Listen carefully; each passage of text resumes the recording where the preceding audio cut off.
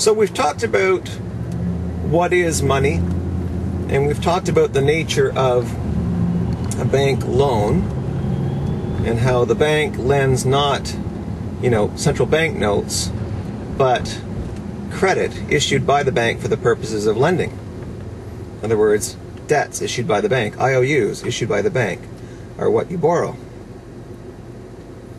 Now, you might think to yourself, what a wonderful racket. I mean, I get to, if I'm a banker, create IOUs and uh, collect interest on those IOUs. So maybe there's no limit. I mean, I can just create as much credit as I want, can I? And then, uh, boy, the money would just be just flowing in. Well, let's deal with that issue uh, point by point by starting with an economic observation, and that is the um, quantity theory of money.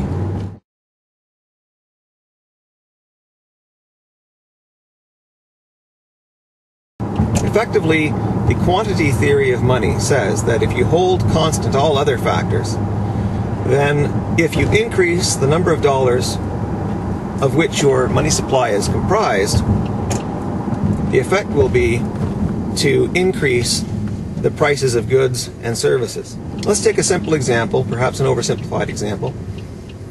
Let's say that the total number of dollars that make up your money supply is $100.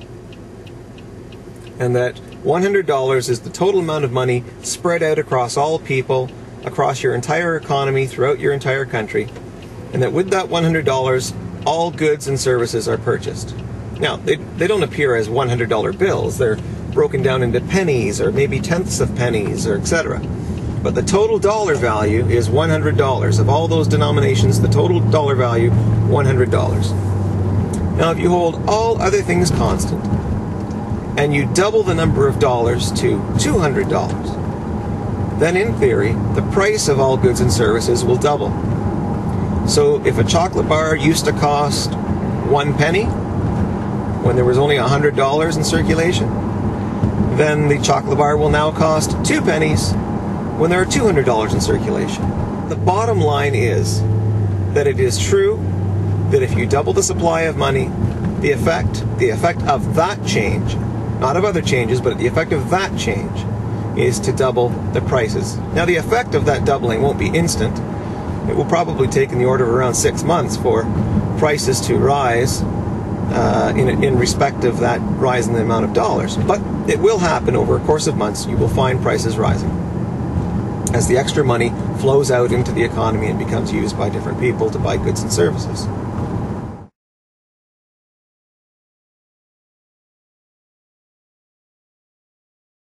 Now you might ask the question, well, if you double the number of dollars, isn't there more wealth? Isn't there more wealth in society because you've doubled the number of dollars? Well, the fact of the matter is that dollars are not the source of wealth. You can triple the number of dollars, quadruple, 10 times the number of dollars. You will not change the amount of wealth in society. All you will have done is divided up into a number of pieces, a greater number of pieces. Think of dollars like this. The goods and services available in your country for purchase with your country's money are like a big pie.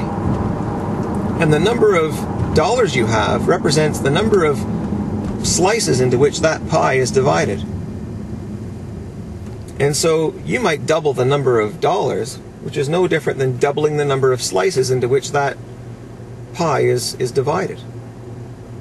So if there are double the number of dollars, then each slice is half the size that it otherwise would have been. So if you multiply the number of dollars, say, by 10, so instead of having $100 in society, you have $1,000, well, all you're really saying is that each dollar represents one tenth of what it used to represent.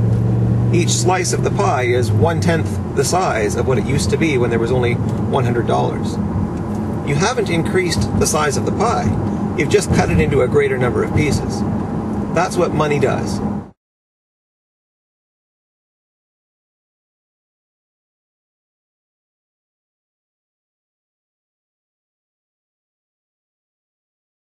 So, in a country that has $100 as its total money supply, $1 is 1% of the money supply.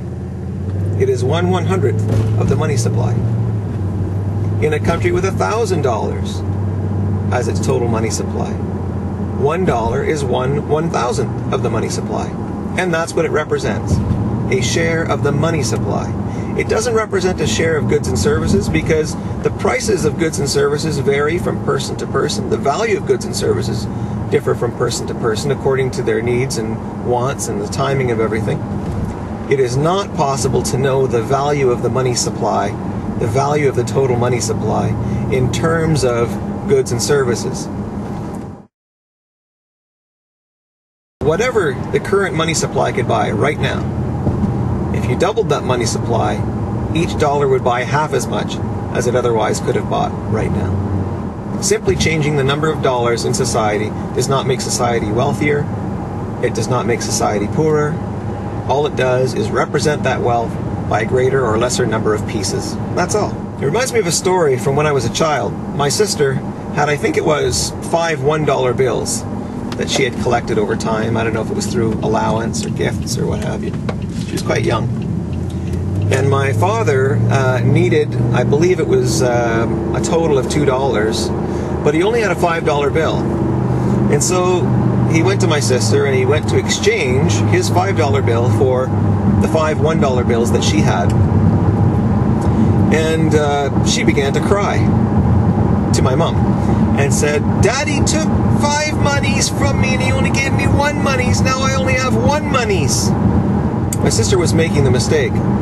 Effectively, she didn't realize it in these terms, but she was effectively making the mistake of believing that every piece of paper represented an equal portion of the money supply.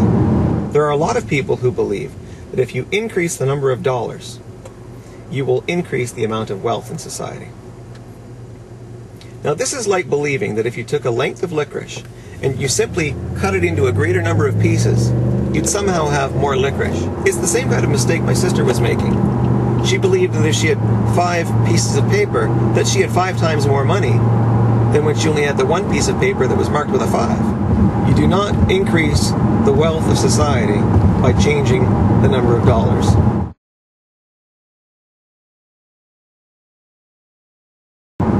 All that can change the wealth of society is productivity. Creating more goods of higher value, uh, lower price, uh, at a lower cost. In other words, making a greater number of better things available for people at a lower price.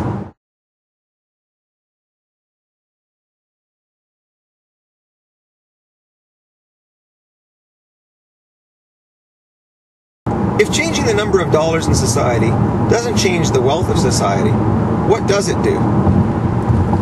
Well, let's look at the counterfeiter. What does the counterfeiter do? Why is counterfeiting illegal? The counterfeiter takes out paper and ink and a printing press or whatever his tools are and creates replicas of banknotes, central banknotes. Now, when he does that,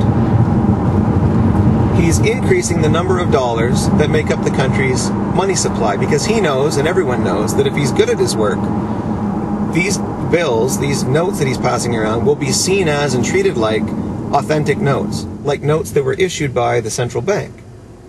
So, in effect, the better he is at his job, the more likely it is that his notes will be handed from person to person just like every other Bank of Canada note, Federal Reserve note, Bank of England note, etc.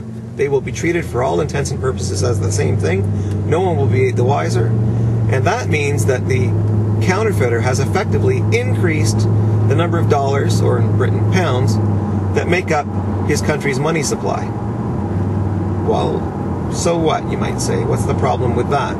Why does that make it a crime? And a lot of people think it's a crime because, well, he never did anything in exchange for that money. That's the crime. It's a moral crime of that sort. You know, he's he's wealthy without having worked for it. Well, no, that's not why counterfeiting is a crime. I mean, it's certainly not. It's, it is morally reprehensible, uh, but but it misses the real way in which this person gained wealth. In other words, it shows him gaining wealth, but it doesn't show the other side of the equation. When that counterfeiter creates wealth for himself, and increases the money supply, what does he do? He decreases the value of every dollar out there. He increases the money supply by one dollar, he decreases the value of every dollar, including the one he just printed. So let's give an example. If the counterfeiter in a society with only $100 making up the total money supply, if he prints off a number of replicas, say 100 replicas, he will have made each dollar worth half of what it otherwise would have been worth. In other words, it will buy half of the goods and services that it otherwise would have bought. Each dollar has become devalued by 50%. Who gained? The counterfeiter. At whose expense? Everyone else's expense who had dollars in their pockets. So you were walking around with one dollar in your pocket. It used to buy, you know, a can of pop and a chocolate bar. 50 cents for the pop, 50 cents for the chocolate bar. So the counterfeiter went out, printed up an extra $100 and doubled the money supply. And now the dollar in your pocket only buys half of what it used to buy. Instead of being able to buy a can of pop and a chocolate bar, now you can only buy a can of pop or a chocolate bar. So the buying power of that dollar in your pocket has been halved. And who gained that half? The counterfeiter. Where did it go? It went into that money that he created. That's why counterfeiting is illegal. It's not simply illegal because he gains without working. It's that he gains at someone else's expense, yours. In fact, everybody who holds dollars loses when a counterfeiter creates more dollars. Because the amount of wealth in society doesn't change, it just gets divided up differently. Think of it this way imagine you're playing Monopoly.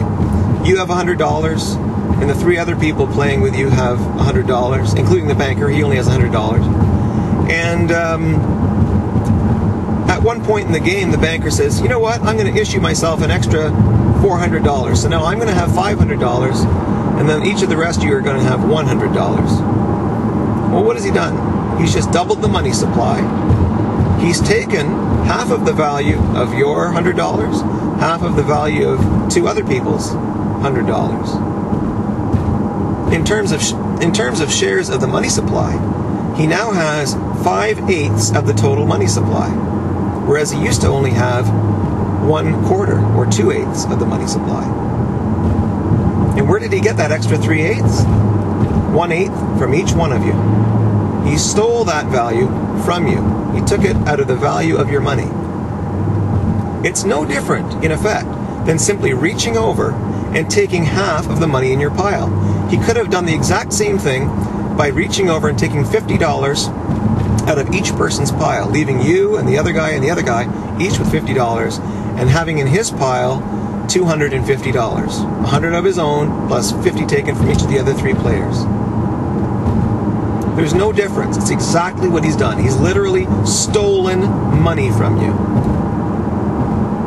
Well, why did he do it this way? Why did he just print up money instead of just taking it out of, you know, out of out of the uh, stack in front of you? Well, because if he tried to take the money out from right in front of you, you probably would have fought back, wouldn't you? You probably would have slapped his hand or in the real world, if someone actually tried to steal money out of your vault in your house, you would have called the police and had them arrested. But you can't do that when it's a counterfeiter, can you? When it's a counterfeiter, he's stealing from you, and you have no way of knowing A, when he's done it, B, where he's done it from, C, who he is, or anything else. He steals from you covertly by increasing the money supply. And you're powerless to catch him, at least immediately, unless you find out who it is that's increasing the money supply. It's a heinous act. Now, the next question is well, we know why counterfeiting is illegal. So, if it's wrong to increase the money supply because it causes people to lose value out of the dollars that they own, if it's effectively a ripoff, if it's no different than the taking money right out of a person's wallet, is it right for anybody else to do it? Anybody other than a counterfeiter? Well, I think we'll deal with that in the next installment of understanding money and banking.